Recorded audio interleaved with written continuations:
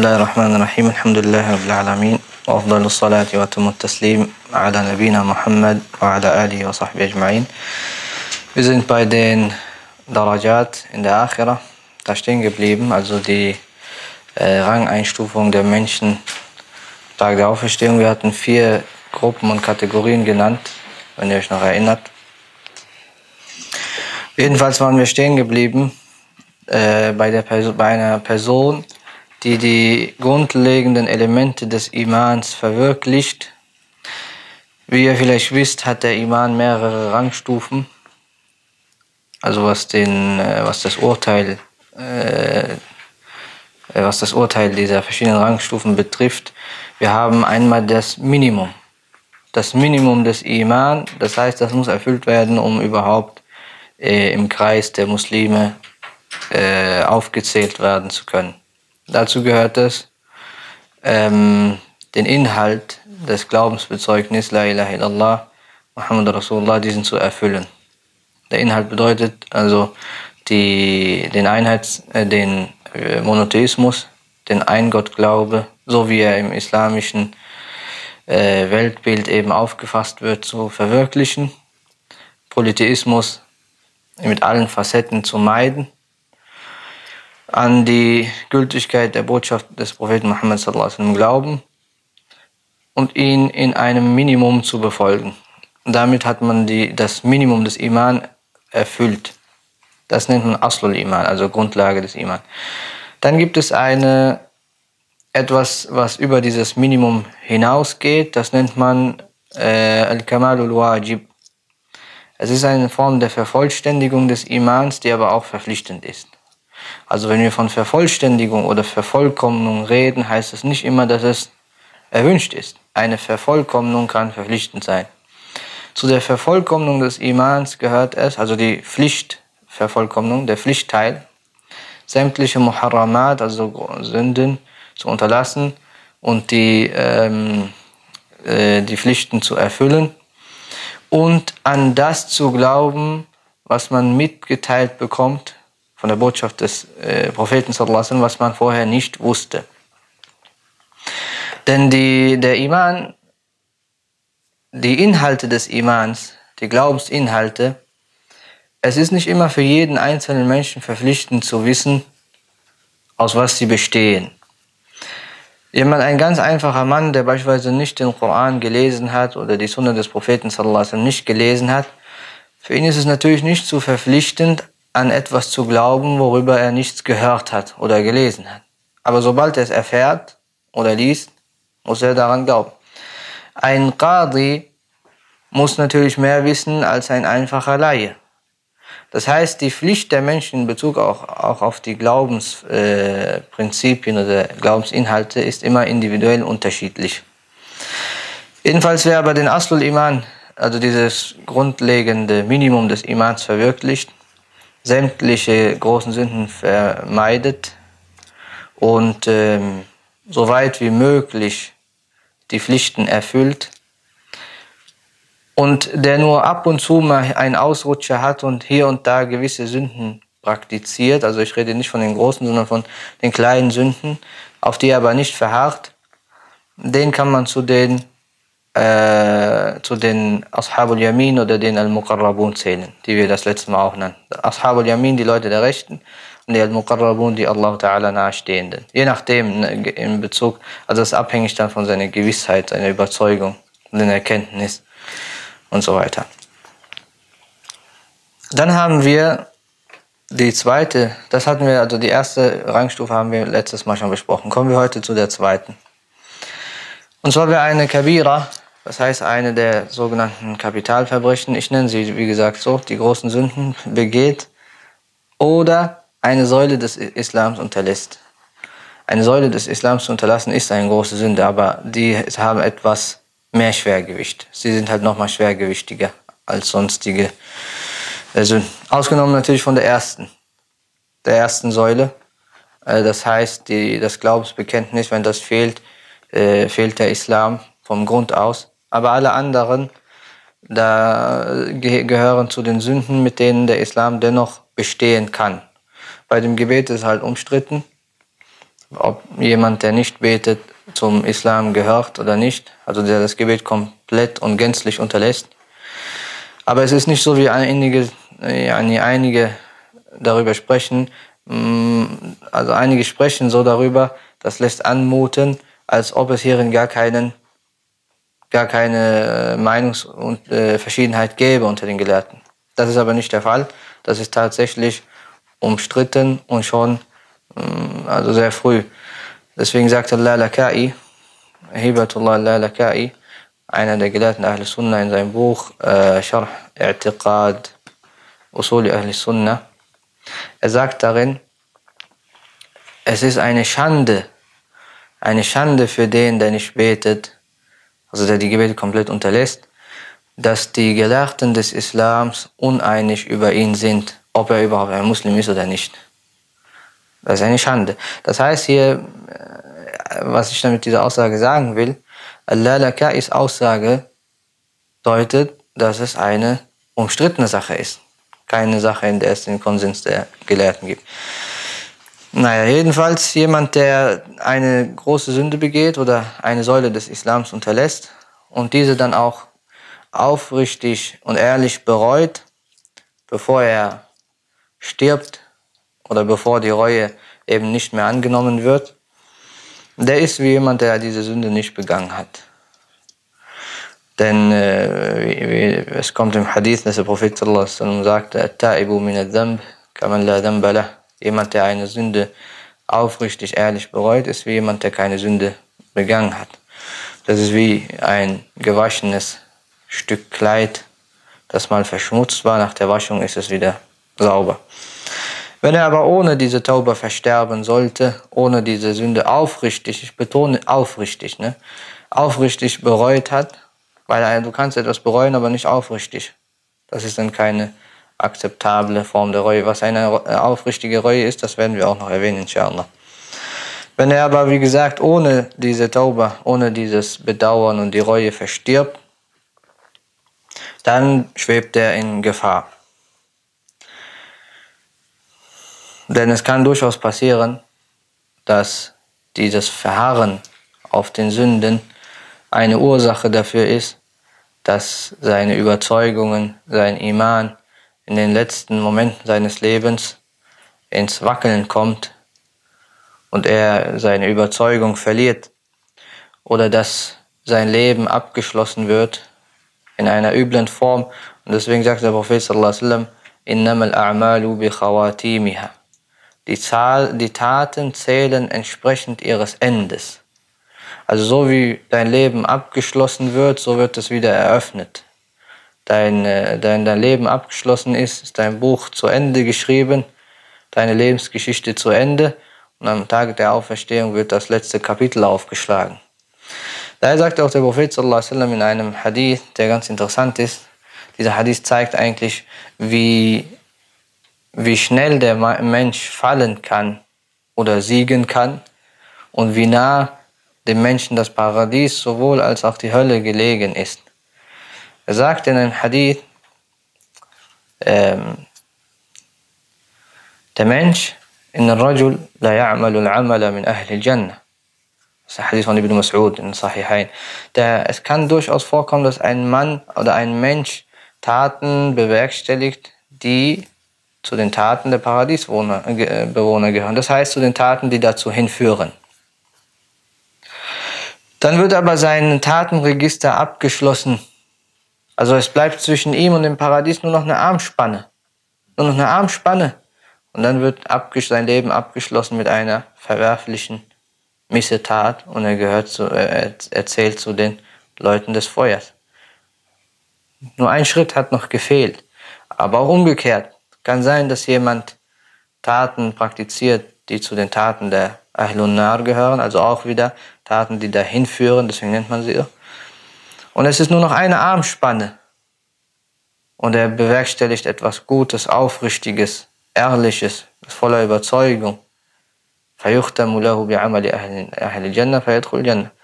wird sein Tatenregister abgeschlossen mit den, mit den äh, Taten der Paradiesbewohner. Er tritt in das Paradies ein.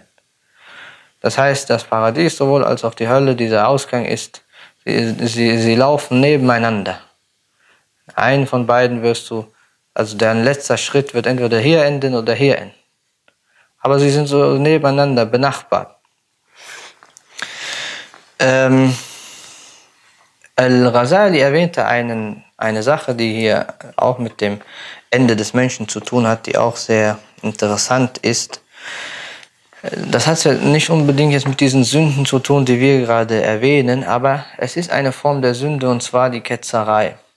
Und mit Ketzerei ist gemeint, von dem sogenannten Rechtsglauben abzuweichen. Vom Rechtsglauben abzuweichen. Ich meine mit dem Rechtsglauben, der Aqidah der Ahl Sunnah wal Jama'a, davon abzuweichen, unbewusst oder bewusst. Bewusst ist es meistens nicht. Meistens geschieht es eher unbewusst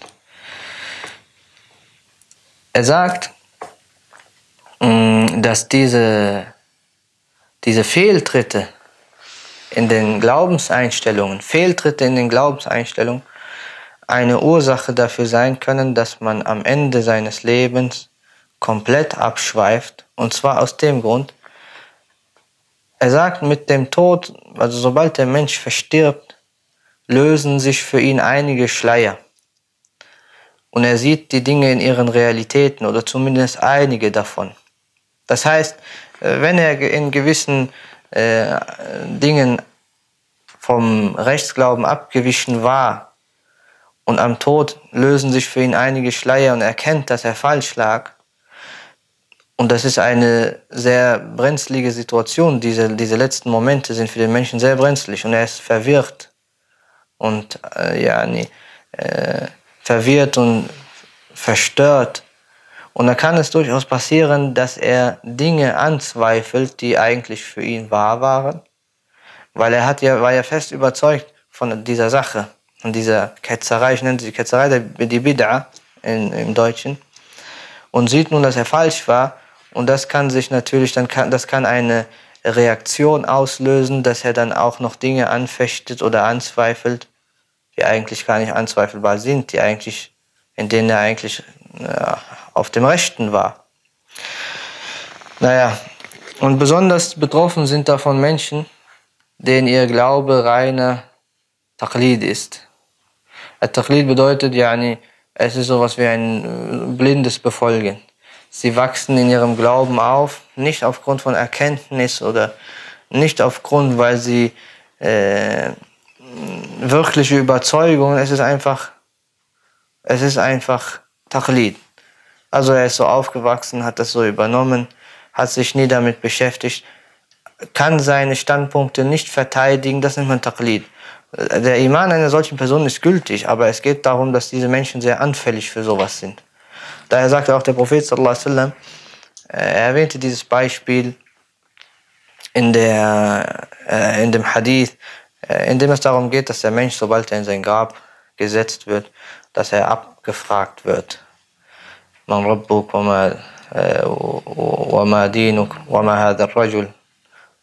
Bu'itha fikum. Was ist dein Rabb, wer ist dein Rabb? Was ist dein Dien? Und wer ist dieser Mann, der zu euch geschickt worden ist?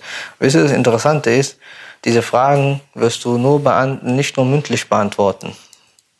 Diese, deine Taten werden für dich sprechen.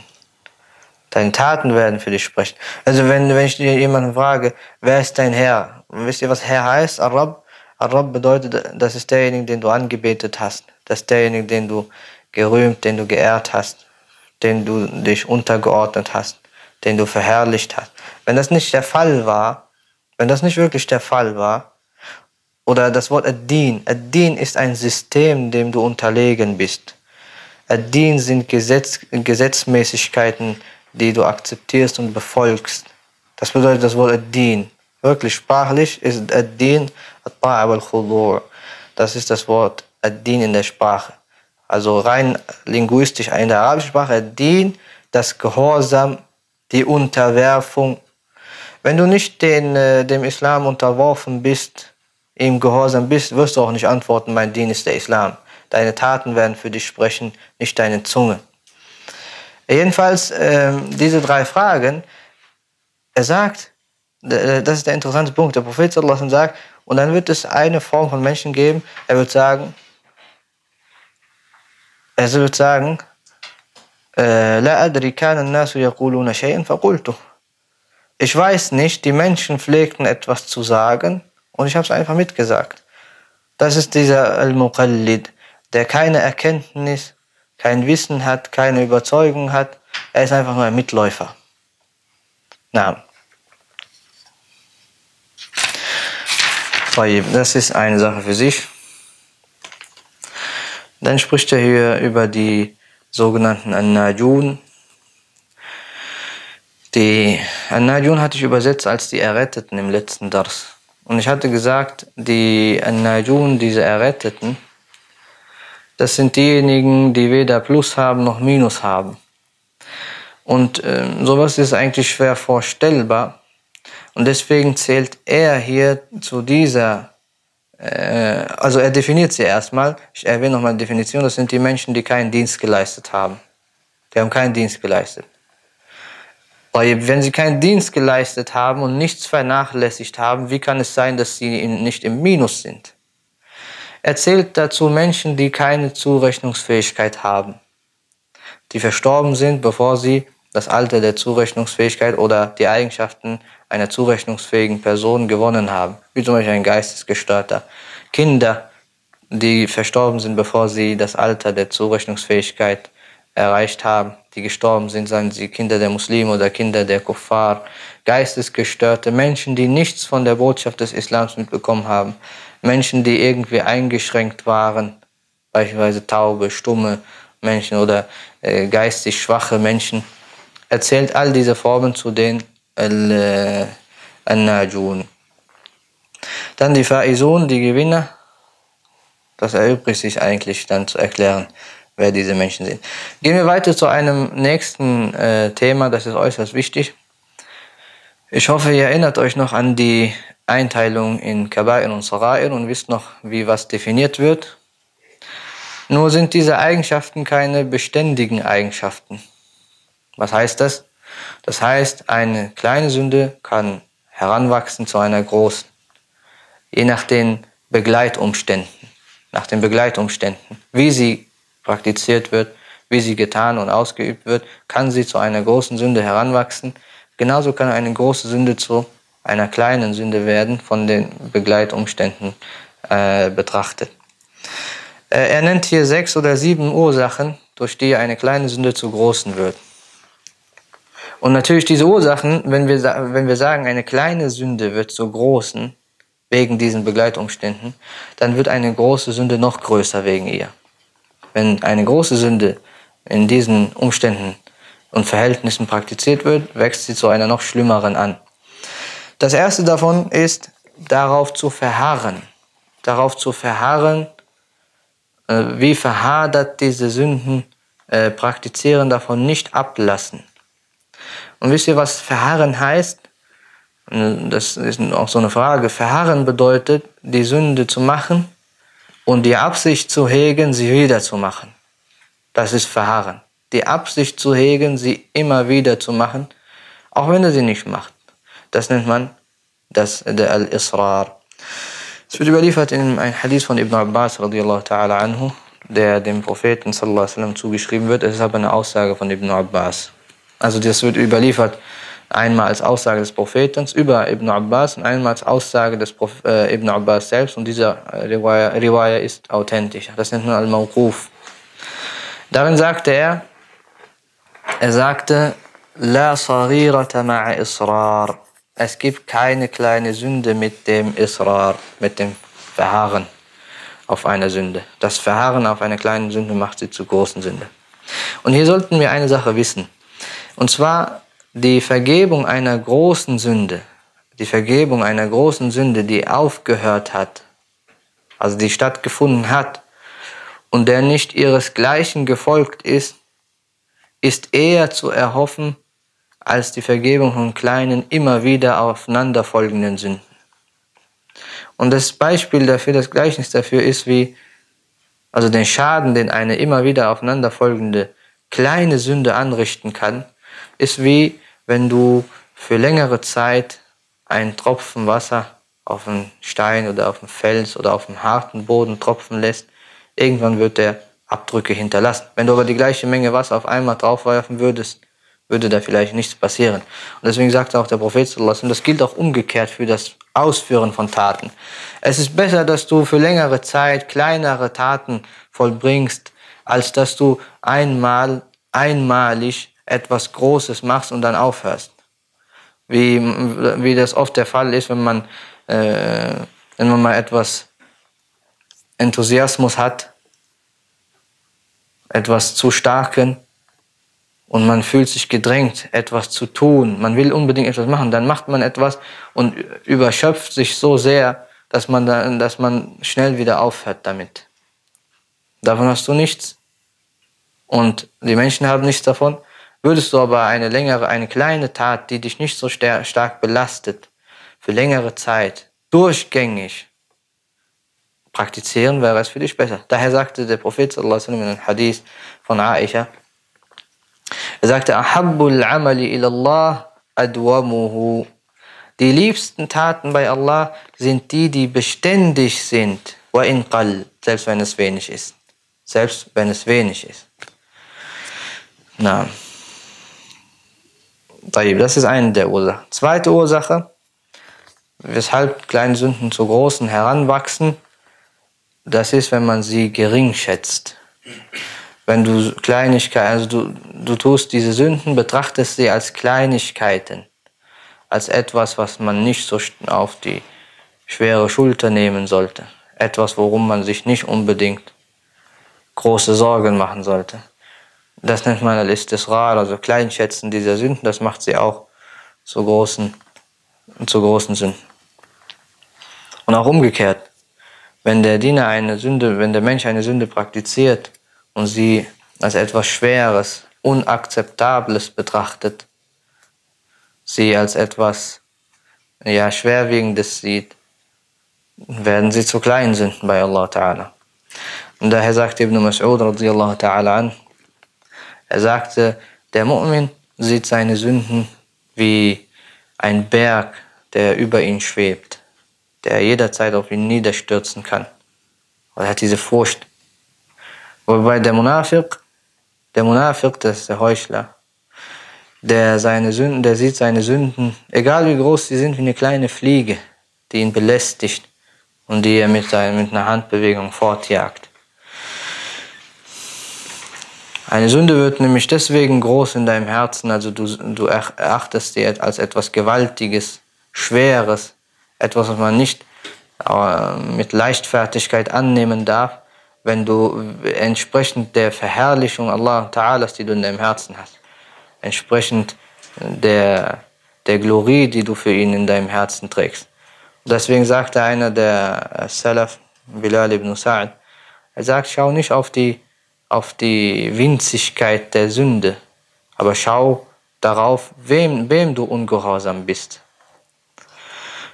Auch in einem Hadith von Anas, der bei Bukhari überliefert wird, er sagte, Innakum la ta'malun a'malan, ihr, ihr begeht Taten, die für euch äh, feiner sind oder winziger sind als ein Herrchen. Wir in der Zeit des Propheten wasallam erachteten sie als, als zerstörerische, ruinöse Taten. Drittens, eine der, also der dritte Grund, warum eine Sünde zur großen, schweren Sünde wird, ist, dass man sich dass man sie mit Freude und Glück praktiziert, dass man sich daran erfreut und Glück hat, sich damit selbst lobt oder prahlt. Wie wenn er zum Beispiel sagt, hast du gesehen, wie ich, äh, wie ich, wie ich, wie ich seine Ehre beschmutzt habe. Ich meine mit Ehre beschmutzen, wie zum Beispiel verleumden, jemanden verleumden. Oder siehst du, wie ich ihn, wie ich in diese Ware äh, in einem Wucherpreis angedreht habe und verkauft habe. Das Wuchern, wir haben schon mal darüber gesprochen, wenn ihr euch erinnert, in einigen, in einem der vergangenen Unterrichte, dass es, es gibt keine Definition für Wucherpreise. Also wenn es ein Fünftel oder ein Zehntel des normalen Preises übersteigt, das ist abhängig vom, von dem äh, Orf, das heißt von ähm, wie nennt man das? Ähm, ja, das sind so diese bekannten Preise unter den Händlern und den Fachleuten. Wucherpreise können, es kann aber auch sein, dass ich jemanden etwas abkaufe und eine Form des Wuchers betreibe, indem ich den normalen Preis unterbiete. Ich weiß nicht, ob man das im Deutschen Wucher nennt oder nicht. Das nennt man beim arabischen Rabben. Also das normale Wuchern ist ja das, was wir so kennen. Du verkaufst mir beispielsweise ein Auto, das kostet nur 2000 Euro, aber du drehst mir das an und verkaufst mir das für 10.000. Das ist das, was wir unter Wuchern kennen. Aber auch umgekehrt kann es passieren. Daher sagte der Prophet sallallahu alaihi La talaqqaw al-jalab. La talaqqaw al-jalab. ومن تلقاه فإذا أتى سيده السوق فهو بالخيار. Das bei Muslim überliefert. Er sagte, empfangt nicht die Al-Jalab. Al-Jalab, das sind diejenigen, also in der damaligen Zeit, diejenigen, die, die Beduinen und so weiter, die in die Städte mit Waren kommen. Die kommen mit Ware, um sie in der Stadt zu verkaufen. Der Prophet sallallahu sagt, empfangt sie nicht. Was heißt das, empfangt sie nicht? Also geh nicht raus aus der Stadt und such die Leute auf. Du siehst, er möchte hierher kommen in die Stadt. Du empfängst ihn aber schon vorher, nimmst ihm die Ware ab für einen untertriebenen Preis. Er weiß nicht, wie viel das in der Stadt kostet. Und du bietest ihm etwas an, nimmst das von ihm ab und gehst dann in die Stadt und verkaufst das dann für die normalen Preise, ja, und hast eine Form der Wucherei betrieben. Und deswegen sagt der Prophet sallallahu wenn dieser Verkäufer dann in die Stadt kommt und sieht, dass er betrogen worden ist, das heißt, er hat äh, die Ware für einen viel zu günstigen Preis verkauft, dann hat er den Khiyar. Al-Khiyar heißt, er kann zu dem Käufer hingehen und sagen, hier gib mir meine Ware zurück und nimm dein Geld. Oder ja, wenn der die Ware verkauft hat, entschädigt er ihn. Das nennt man äh, Al-Khiyar. Naja, jedenfalls, ähm, die dritte Sache ist, wie gesagt, damit zu prahlen, angeben, das zu erwähnen, damit zu stolzieren. Viertens, dass man die, die Verdeckung Allah Ta'alas und seine Milde gering schätzt. Was heißt das? Das heißt, er achtet das nicht als eine äh, Barmherzigkeit Allah Ta'alas, dass er ihn verdeckt hat, dass er sein Fehl sein Fehltun verdeckt hat vor den Menschen, dass er ihn geschützt hat vor ihren Blicken oder vor ihrem Wissen und seine Milde, dass er ihn nicht bestraft, nicht schon voreilig bestraft, sondern ihm Aufschub gewährt, dass er das alles ausnutzt und gering schätzt, das nennt man, das macht eine Sünde auch zur äh, großen Sünde. Fünftens, die fünfte Sache, das ist ähnlich wie, wie die vierte, äh, also er hat es getrennt, ich habe es zusammen erwähnt, und zwar, dass man äh, diese Sünden in Anwesenheit anderer Menschen praktiziert, Anwesenheit der Menschen in der Öffentlichkeit, weil man muss bedenken, das hat eine negative Auswirkung auf die Gesellschaften. Sünden öffentlich zu praktizieren, Sünden sind ansteckend. Und wenn sie öffentlich praktiziert werden, kann es den einen oder anderen dazu verleiten, Ähnliches zu tun, besonders dann, wenn dagegen nichts getan wird. Daher wird in den Sahihain überliefert, dieser Hadith, den wir schon mehrmals auch zitiert haben, in dem der Prophet sagte, meine Umma ist begnadet außer, de, außer den Al-Mujahirin. Al-Mujahir, das ist der, der seine äh, Sünde unverblümt, öffentlich, ohne irgendwelchen Scham praktiziert. Die sechste Sache hier, also das, was er äh, hier als Punkt 6 erwähnt, ist prinzipiell okay, aber das Beispiel, was er erwähnt, da habe ich einige Probleme mit. Er sagt hier, dass die Sünde von jemandem praktiziert wird, den die Menschen als ein Vorbild oder als eine Vorbildsperson betrachten.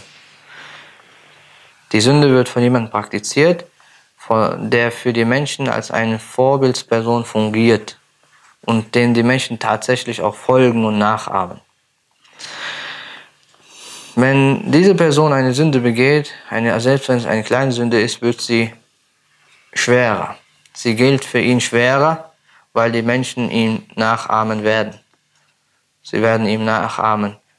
Vielleicht werden sie, äh, für, auch wenn er weiß, dass es verboten ist, es kann sein, dass die Menschen aber denken, weil sie von ihm, äh, der, ja, sie halten ihn für einen besonders frommen Menschen und denken, das muss bestimmt legitim sein, deswegen macht er es. Und dann machen sie ihm nach. Und dadurch wird es natürlich schwerer. Und daher sagte der Prophet sallallahu man sanna fil Islam sunnatan hasana, äh, sunnatan sayyi'a. Wer im Islam eine üble Sunna einleitet, äh, mit der Sunna ist ja gemeint ein Weg. Sunna heißt Weg. Wer einen üblen Weg einleitet oder eröffnet, also den die Menschen danach nach ihm begehen, ihn auf seinen Fußstapfen folgen, auf ihn lastet ihre Sünde, also einmal die Sünde, dass er diesen Weg überhaupt geöffnet hat und es praktiziert hat. Und die Sünde jener, die nach ihm entsprechend handeln, die ihm darin nachahmen. Oder die wegen ihn, auch wenn er nicht dazu aufgerufen hat, die wegen ihm Ähnliches tun.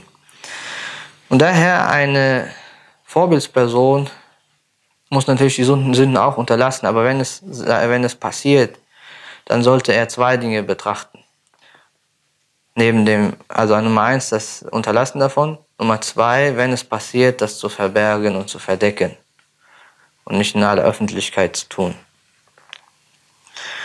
Und dann erwähnte er hier ein Beispiel, das ist wie gesagt etwas problematisch. Er sagt Ruina, es wird überliefert. Dieser Ausdruck Ruina in der Fachsprache deutet darauf hin, dass er selbst diese Überlieferung nicht für akzeptabel hält. Also ich meine, er sieht sie als eine schwache Überlieferung an. Aber selbst das Beispiel hier ist nicht so ganz akzeptabel. Ich nenne es mal, dann erzähle ich mal äh, den Grund, äh, erzähle ich euch, warum das nicht so akzeptabel ist. Er sagt, äh, es wird überliefert, dass es einen König gab, einen Herrscher, der die Menschen dazu, der die Menschen gezwungen hat, er hat sie gezwungen, Schweinefleisch zu essen.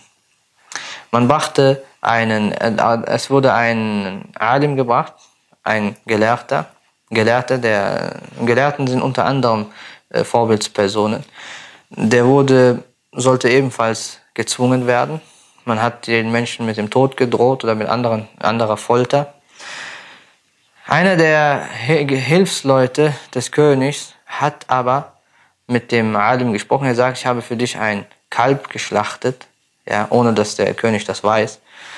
Und wenn er dich dazu auffordert, dieses Fleisch zu essen, dann isst es. Es ist Kalbfleisch. Der König hat ihn gezwungen, er hat es aber trotzdem verweigert.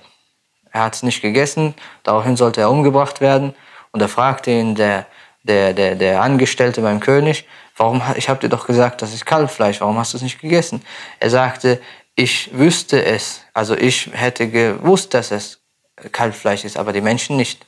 Die Menschen hätten gedacht, der ist Schwein, also der hat sich darauf eingelassen.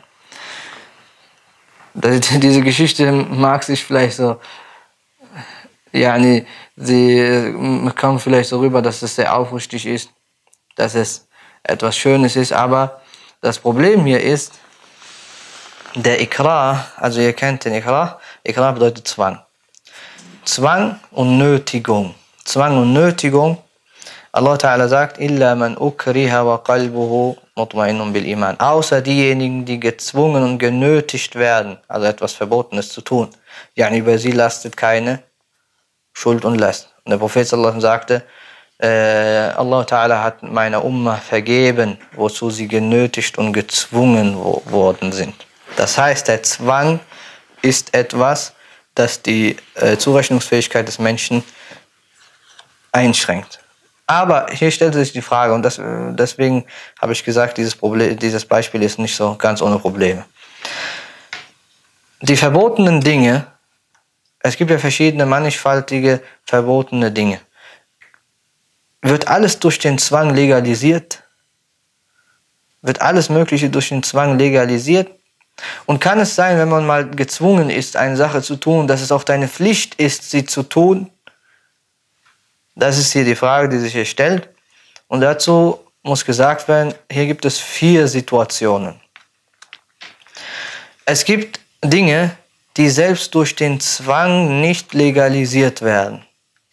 Dinge, die ihr Verbot, deren Verbot selbst durch den Zwang nicht aufgehoben wird, wie zum Beispiel der Mord.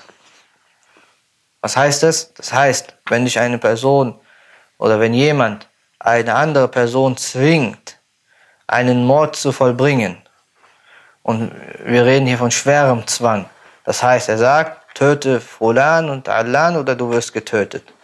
Und er weiß, dass diese Person das auch praktizieren wird, sie wird ihn auch töten. Darf er die, die X-Person töten? Hm? Nein, darf er nicht. Dein Leben ist nicht mehr wert als das Leben von X.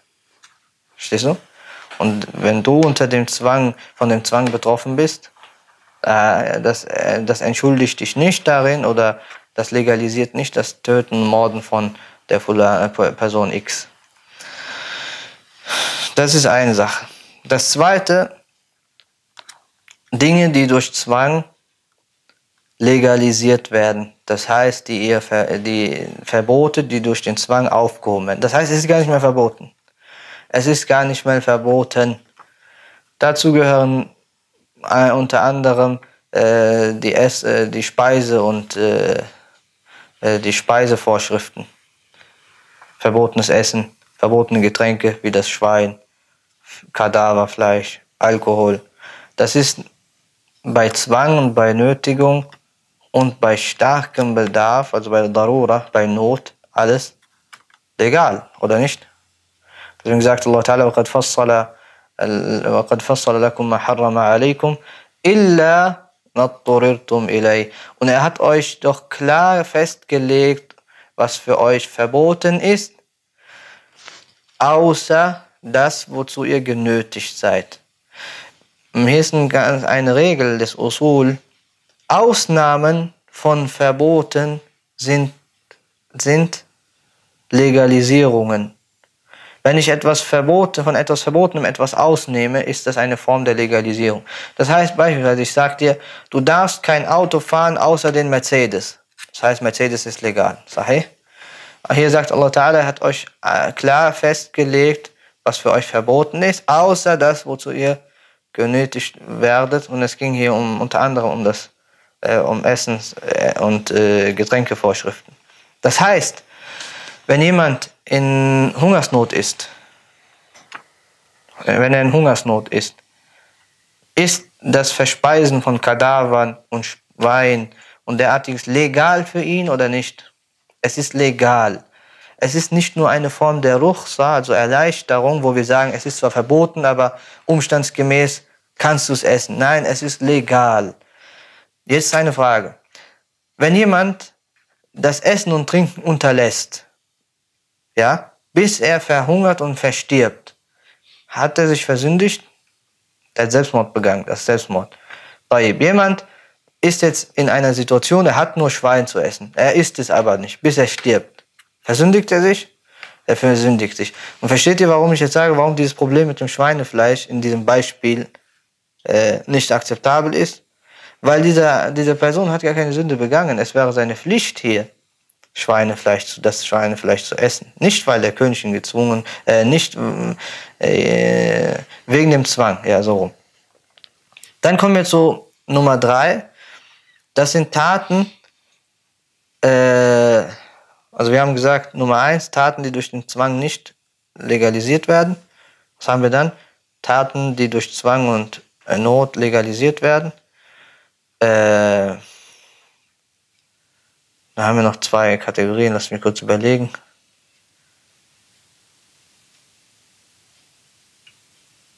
Ja, äh, Sie sagen Nummer drei, äh, Dinge, Aussagen oder Taten, die durch den Zwang legalisiert werden können, aber man muss sie nicht begehen.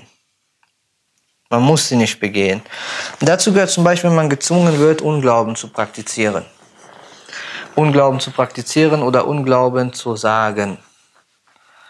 Beispielsweise jemand zwingt, äh, jemand zwingt eine Person, sich vor einem Götzen niederzuwerfen oder vor einem Bild oder äh, Ausdrücke, des, Ausdrücke des Unglaubens zu sprechen. Hm? Er darf das in, in Situationen von Zwang tun, wie in dem Hadith von Ammar ibn Yasir. Ihr wisst, Ammar ibn Yasir seine, seine Familie, sein Vater, seine Mutter und er waren Opfer von äh, Folter und Zwang. Äh, das war ganz am Anfang noch, äh, wer, äh, zur Zeit, also vor der Hijra, am Anfang. Seine Mutter wurde getötet unter, durch die Folter und sein Vater ebenfalls, er war der Einzige, der überlebt hat. Und man hatte ihm gesagt, sag, dass Allah mein, dein Herr ist. Allah dein Herr ist. Oder ähnliche Ausdrücke. Und er hat es dann getan. Und er ist zum Propheten sallallahu gekommen und hat äh, sich bei ihm beklagt über, diese, über das, was er getan hat. Und dann sagte der Prophet sallallahu wie fühlst du, wie, wie fühlt sich dein Herz an?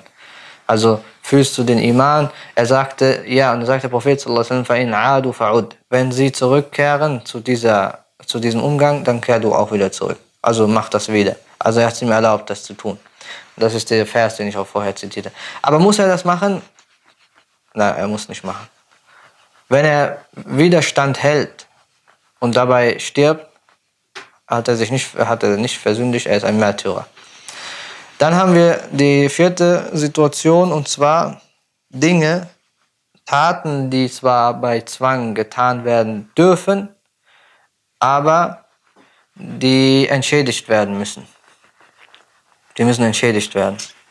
Und, und das betrifft, äh, äh, ja, wenn zum Beispiel jemand gezwungen, genötigt wird, das Vermögen oder Hab und Gut einer anderen Person zu äh, zerstören oder missbrauchen.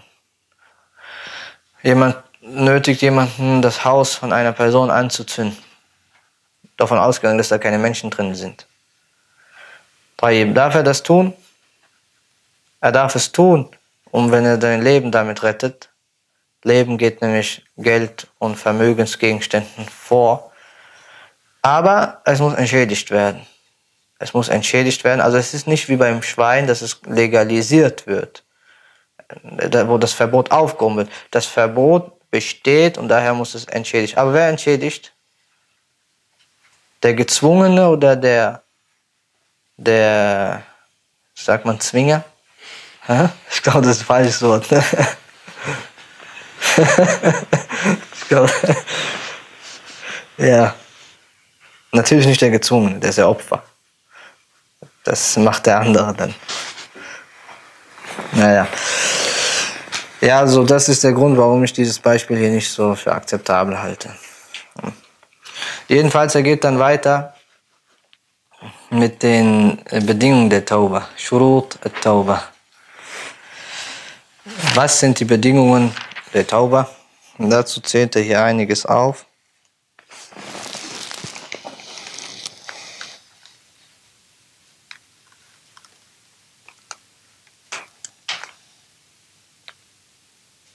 machen wir das nächste Mal, inshallah, die Bedingungen der Tauba. وآخر دعوانا الحمد لله رب العالمين